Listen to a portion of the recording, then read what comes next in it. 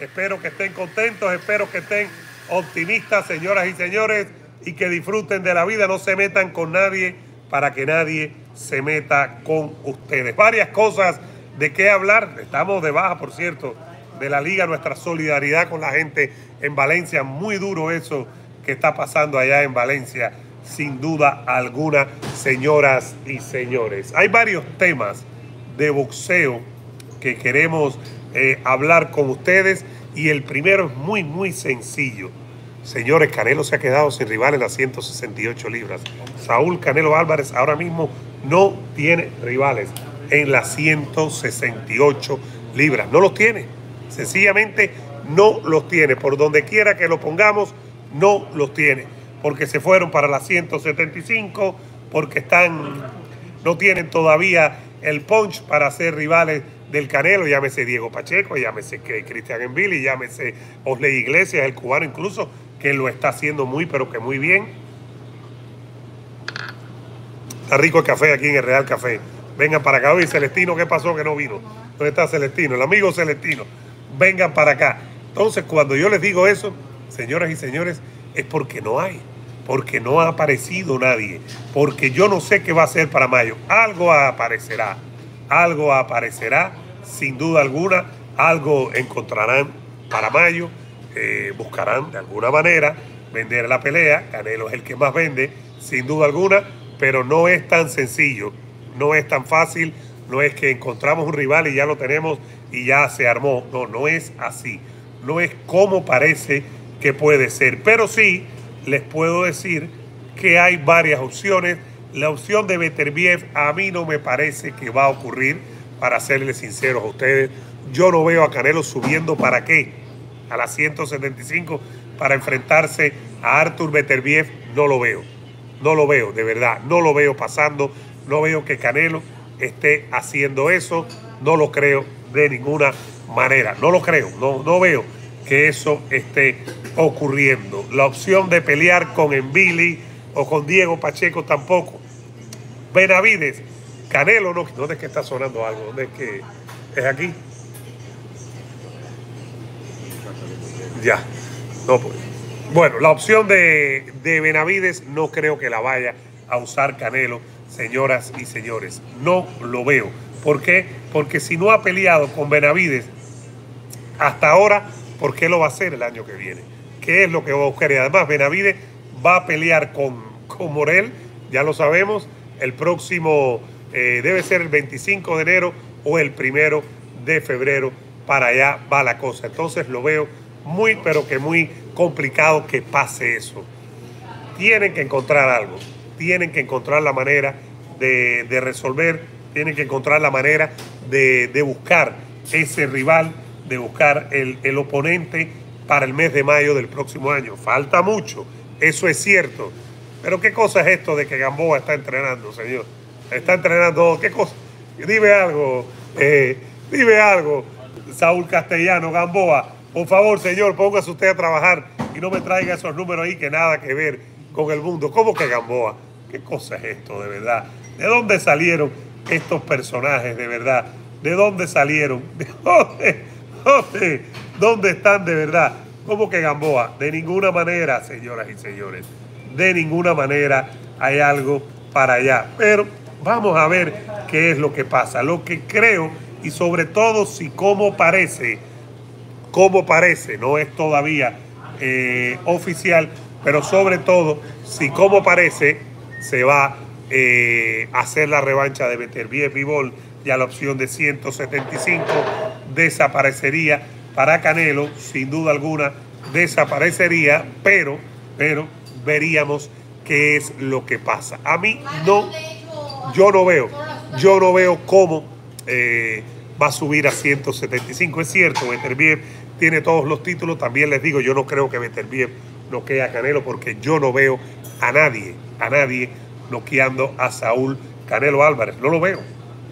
Por mucho que les guste o no, yo creo que esa mandíbula de burro, de lo duro que tiene, no hay manera de, de noquearlo, por un lado, y por otro, creo sinceramente, por otro, creo sinceramente que no hay eh, eh, que tiene mucha defensa Saúl Canelo Álvarez con todo y que no le quieren dar el reconocimiento, el crédito que pienso yo que se merece en este aspecto. Así que eso es lo que, lo que podemos ir tirando hasta ahora, eso es lo que podemos ir viendo hasta ahora, eso es lo que tenemos, señoras y señores. Un abrazo hasta Montreal.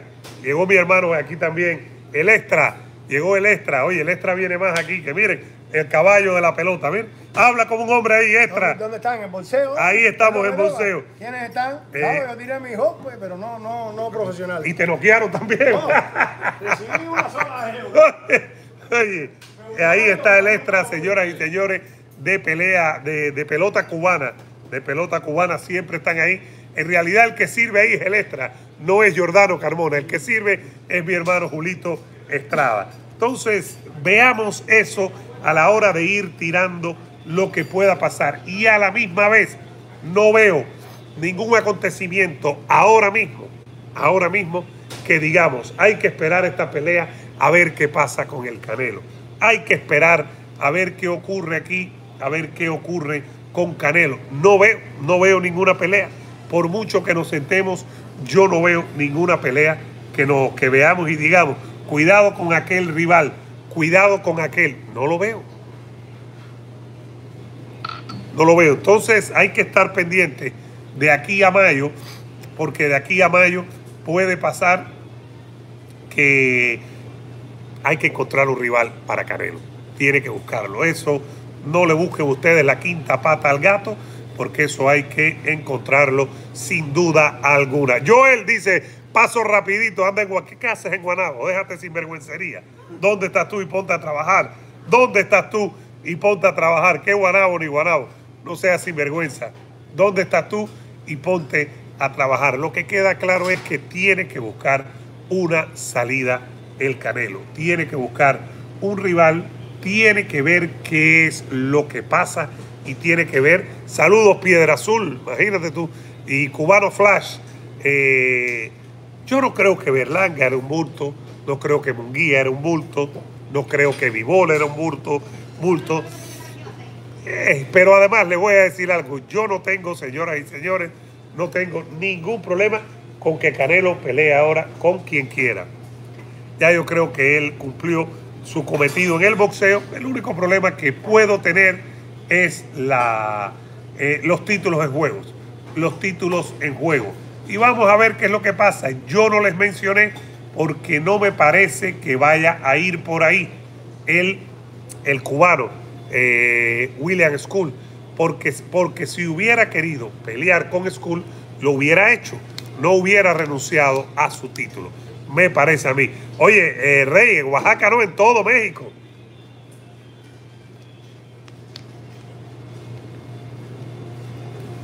En todo México. Ya la vi, la vio mi hija también. Reyes, en todo México hoy. Es hoy o ayer, el 31. ¿No era el 31? Bueno, eh, Omar Stuart, todos sabemos que los rivales los escoge Canelo. Eh, y que tiene que ver, Mayweather también los escogía, de la olla también. Joel, vikingo, mi rey se sacará a su rival de la manga, ningún cubanito. ¿Y qué tiene que ver un cubanito? ¿Quién está hablando aquí de eso, señor? Póngase a trabajar y póngase a decir cosas. Eh, rey Jarquín dice, viva Cuba, viva Cuba, viva Cuba libre. Libre siempre, ¿no? Siempre, viva Cuba libre. Siempre es lo que queremos. ¿Qué va a hacer Canelo? No lo sé. Pero sí, fíjense, fíjense, gracias a ti Loli de la Cruz y bendiciones para ti. Eh, lo de Yerbonta, pelear una vez al año, le pasa factura. Lo he dicho aquí muchísimas veces. Sigan dándome corazoncito aquí, like, suscribiéndose, vamos. Sigan aquí que seguimos creciendo. Eduardo Martel, el vikingo, seguimos creciendo. Estamos en nuestro Real Café. Así que ya saben que le pedimos a ustedes que se suscriban y que, y que estén aquí con todos nosotros, señoras y señores, pasándola bien, compartiendo y disfrutando, porque aquí es lo que hacemos, señoras y señores, esto es lo que hacemos eh, con todos ustedes siempre, compartir y hablar de deporte, señoras y señores. Mayweather escogía lo bueno, a ver, Mayweather escogió al Fantasma Guerrero, a André Berto, a, Archino Maidana, ¿a quién más? ¿A quién más al final? A Víctor Ortiz, a ver. A ver, Rey ya lo tuve que hacer, ya lo tuve que hacer por gracioso y por falta de respeto. Ya lo hice, gracias, hermano mío. Mayweather escogía al final. Eh, dice Omar Estúa, Vizca Heisa, Heisa Balón de Oro. El mejor servicio siempre aquí, si tú dices que vienes de mi parte, al momento te tratan bien. Al momento. Oh, me va a bloquear, pero aquí en vivo en el café ya no es ni en redes sociales, me va a bloquear en vivo. Ay, ay, ay. Joel Pesa dice: Dile a tu seguidor que el Canelo si escoja a sus rivales, a los cubanitos se los coge y no garantiza ni vende. Pero ¿qué tiene que ver los cubanitos? Deja el complejo ese de inferioridad que tiene usted, señor. Usted tiene mucho complejo de inferioridad. Usted da pena, da vergüenza.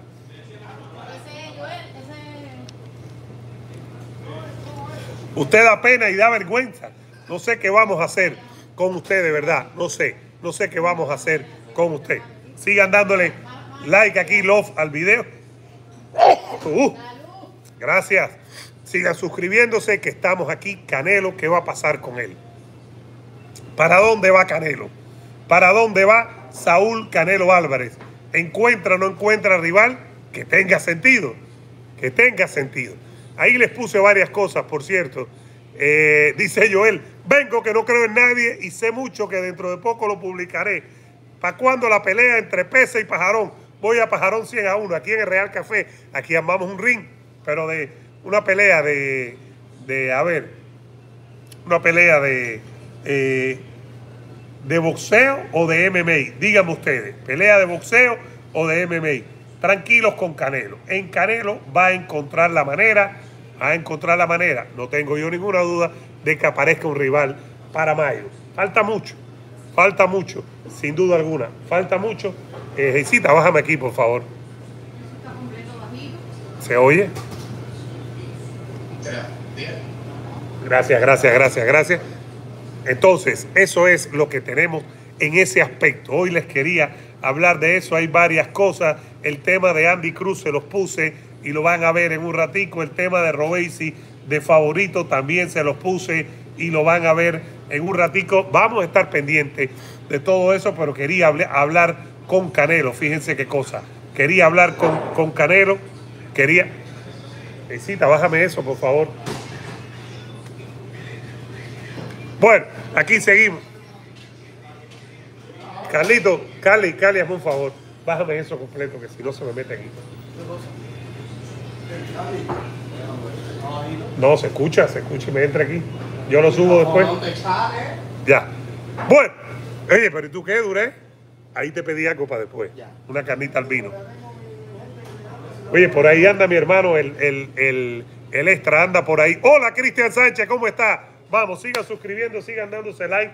Oh, ahora sí se puso bueno porque llegaron la gente de Alpha Medical Research. Saúl no, la gente de verdad de Alpha Medical Research. ¿Cómo estamos hoy de verdad? ¿Cómo, cómo se sienten? ¿Cómo la están pasando? ¿Cómo disfrutan? Eh, oh, oye, Cristian, ¿cómo es eso? Saludos. Ahora sí, se puso bueno el programa. Llegaron la gente de Alpha Medical Research. ¿Cómo están? Ahí están, señoras y señores. Cristian, está bueno el chiste, pero tírame más. No me lo dejes así. No me lo dejes así. Ya diciéndole eso de Canelo señoras y señores, sobre los rivales de, las 168 libras, eh, yo creo, salud, yo creo que hay que esperar, no se, no se apresuren, no se manden a correr, no vuelvan a, no piensen que hay que desesperarse, pero algo va a pasar.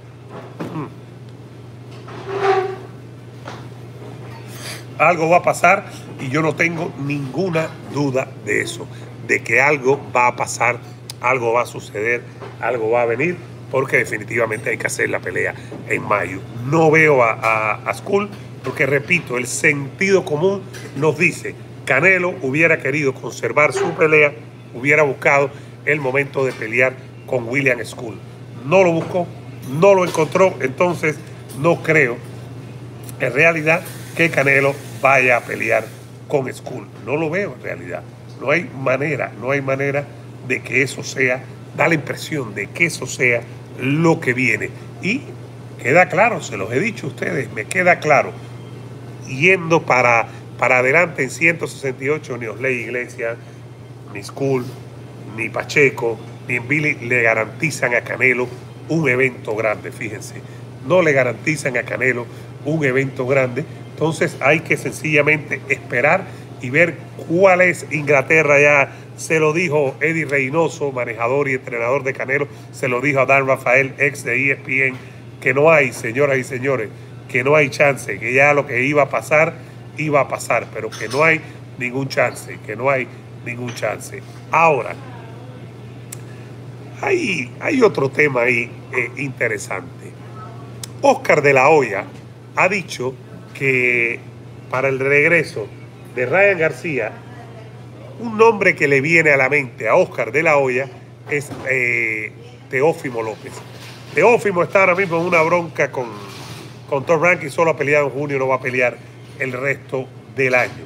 Fíjense qué cosa, no va a pelear el resto del año. Teófimo no va a, a enfrentar nada y Teófimo está tratando de salirse del contrato de Top Rank.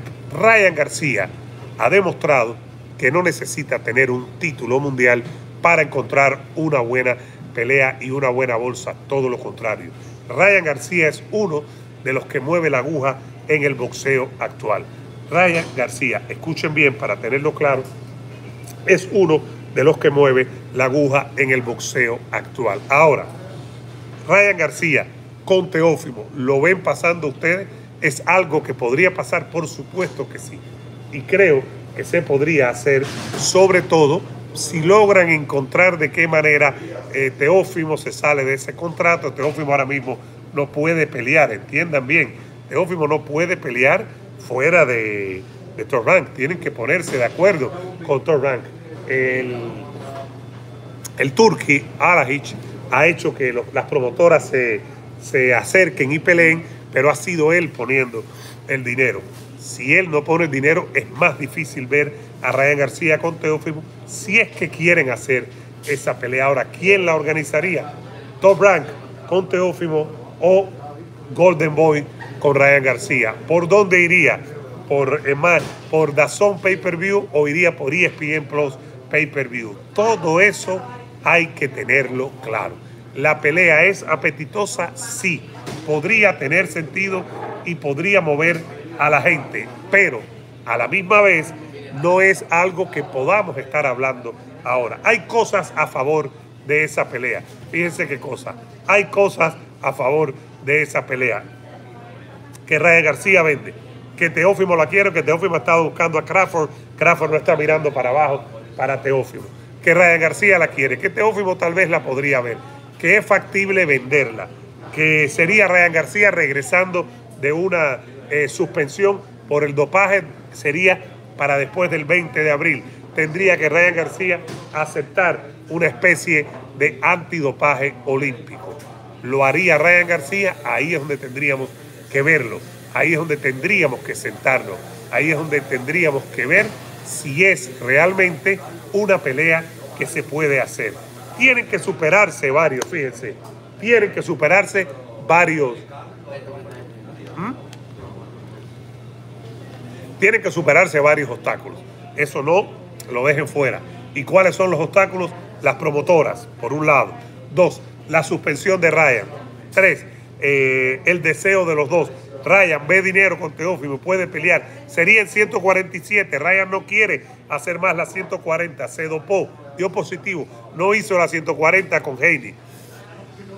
Le interesa más a Ryan García pelear en 147 con Teófimo o le interesaría una revancha con, eh, con Heini. Heini aceptaría esa revancha. Todo eso tenemos que ponerlo para cocinarse, fíjense, y ver salud, salud, y ver si es factible. Después de poner todo eso sobre la mesa, ahí nos sentaríamos y veríamos si es que estos dos van a ser la pelea. Pero no, no, no, no la tiremos a un lado y digamos, no es posible. Fíjense, no la tiremos a un lado y no, y no digamos, es imposible. ¿Por qué? Señoras y señores, ¿por qué? Porque eh, cuando los boxeadores quieren hacer una pelea, sin duda alguna se hace. Eso ténganlo claro. pero ténganlo claro de aquí a la China, ida y vuelta. Cuando un boxeador y otro que tienen poder, en este caso, fíjense, Ryan García y Teófimo que tiene cierto poder y tiene su, su seguimiento, eh, quieren hacer un combate, el combate se hace. Y se quedan a un lado lo que es los temas de, que podrían separar la, la, pelea. A mí me, me parece que inicialmente saldría Teófimo de favorito. Teófimo ha sido campeón en 135, es campeón en 140, ha enfrentado mejores rivales y ha logrado más en el boxeo que Ryan García.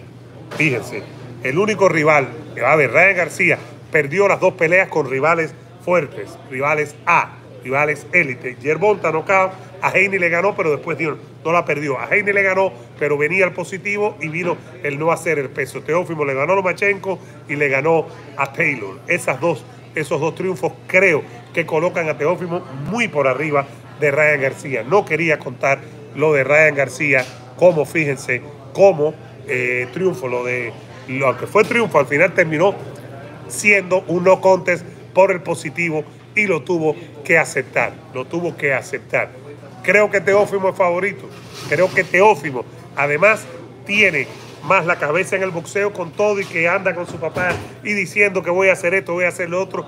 Teófimo es más boxeador que otra cosa, es boxeador. Ryan García, que si boxeador, que es influencer, no lo tenemos claro. Pero sí, pero sí, podemos decir que eh, Teófimo debe salir de favorito con Ryan García.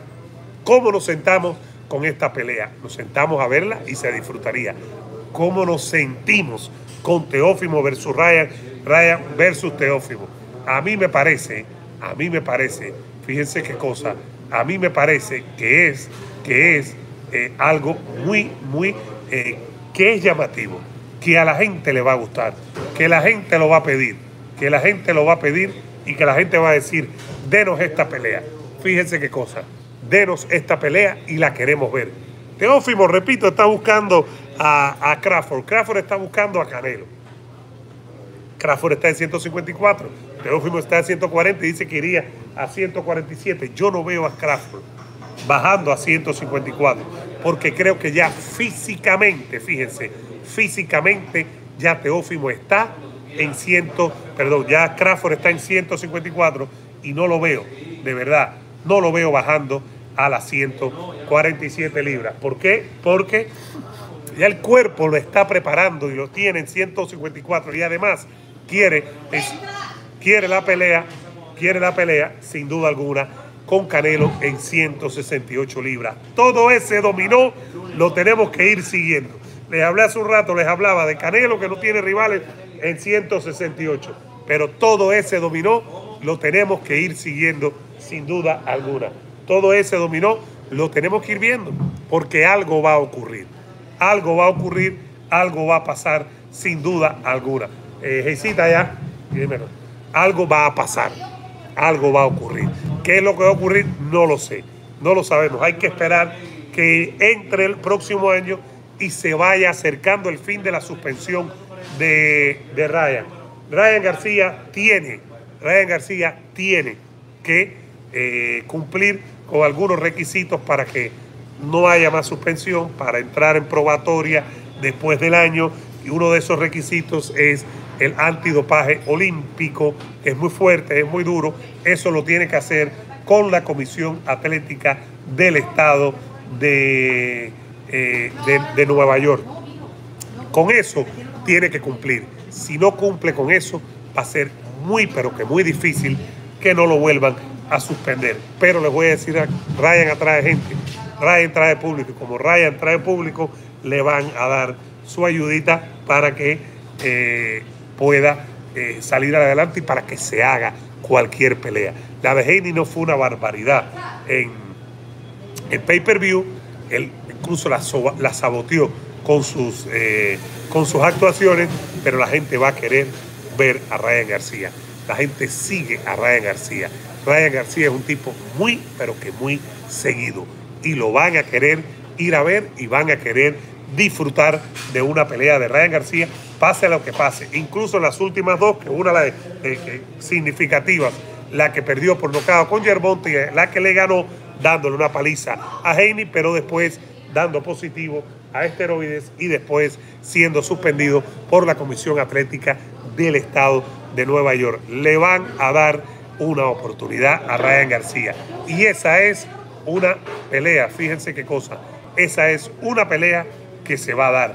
Esa es una pelea, fíjense qué cosa, esa es una pelea que yo creo que se podría hacer, pero no sabemos si va a ocurrir. No sabemos si va a ocurrir, no sabemos si finalmente se van a dejar a un lado todas las, las, las partes que lo pueden impedir para que estos dos peleen, para que estos dos se enfrenten. No lo sabemos. Fíjense qué cosa. No lo sabemos y hay que ver qué es lo que pasa. Denle un likecito, un love al video y suscríbanse aquí. Vamos, que estamos en el café.